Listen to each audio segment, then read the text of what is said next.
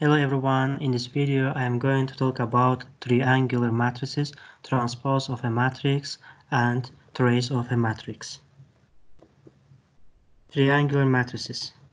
A square matrix A is called lower triangular if for any i is greater than j, aij is 0. Upper triangular if for any i is greater than j, aij is 0 diagonal if it's simultaneously lower triangular and upper triangular. That is, for any i is different from j, aij is 0. And here, i and j are natural positive numbers. Examples. Suppose that we have three matrices A, B, and C. Let's look at the matrix of A. A1, 2 is 0, A1, 3 is 0, A2, 3 is also 0. Then, as you see, A, I, J is 0 if I is less than J. And here I and J change from 1 2, 3. Then according to the definition, this matrix will be a lower triangular matrix.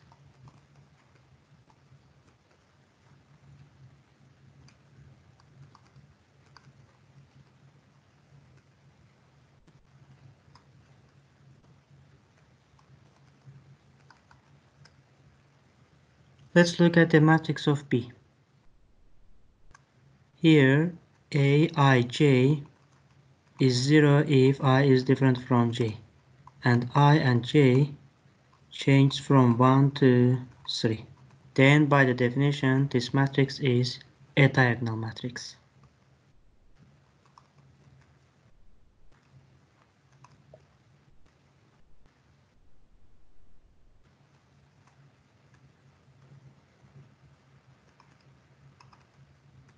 Let's look at the last one.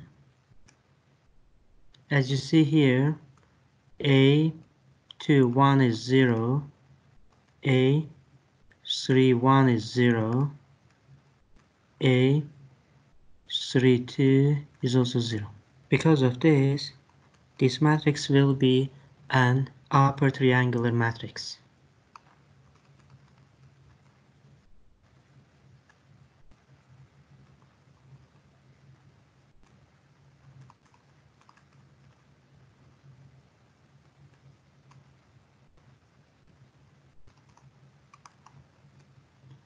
Okay, that's it.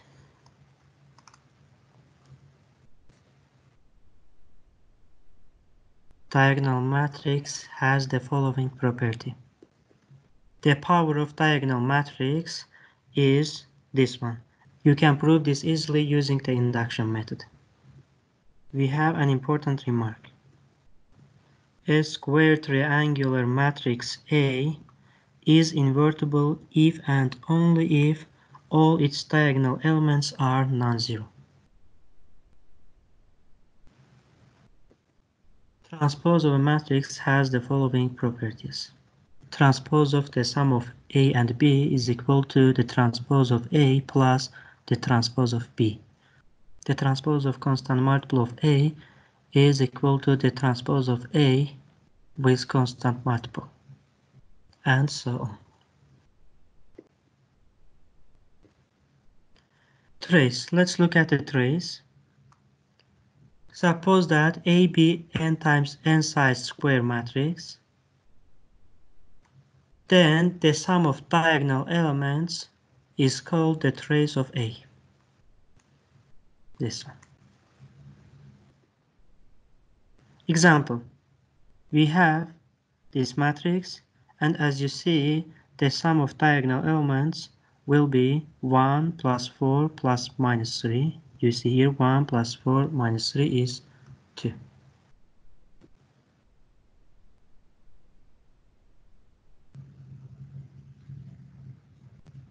Trace of a matrix has the following properties.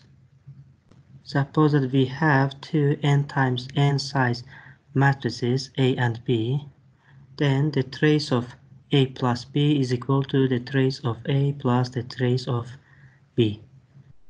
The trace of alpha times A is equal to alpha times the trace of A. And here alpha is any real number. The trace of transpose of A is the trace of A. The trace of A times B is equal to the trace of B times A. Let's prove them. Let's look at the first one. The trace of A plus B is the trace of A plus the trace of B. Suppose that CII is any diagonal element of A plus B. And I change from 1 to n. Then we can write CII as AII plus BII such that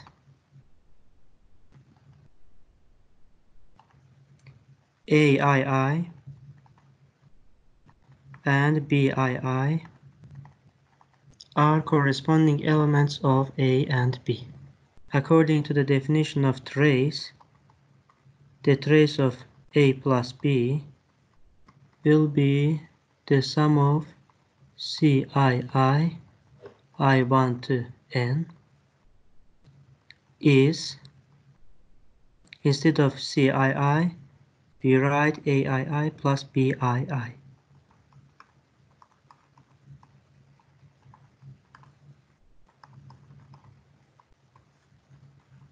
Then we can write this expression as the sum of A,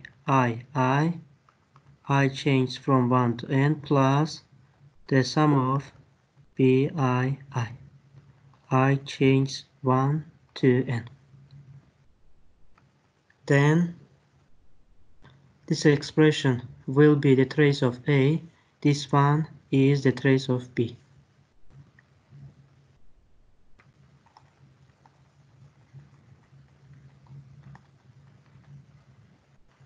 Then as you see, the trace of A plus B will be the trace of A plus the trace of B. That's it. Let's prove the second one. Trace of alpha times A is equal to alpha times the trace of A. And here alpha is any real number. Suppose that AII is any diagonal element of A. And here I change from 1 to n. Then alpha times A II will be the diagonal element of alpha times A. From here, the trace of alpha A will be the sum of alpha times AII, I change from 1 to n, is equal to, you see here we can factorize alpha, alpha times I1 to n, AII. We know that this one is the trace of A, alpha times the trace of A. Okay, that's it. Let's look at the third one. The trace of the transpose of A is equal to the trace of A. Since the transposition doesn't change the diagonal elements of A, the trace of transposition of A will be the trace of A.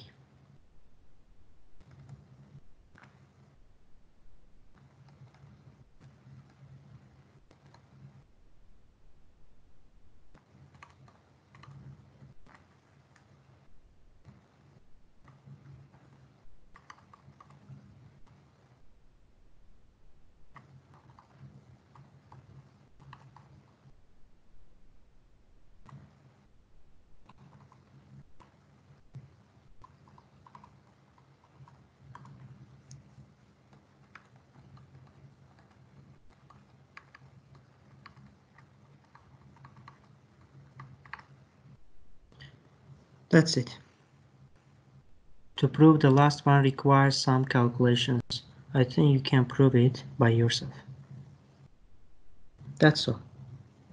Okay, see you guys next lesson.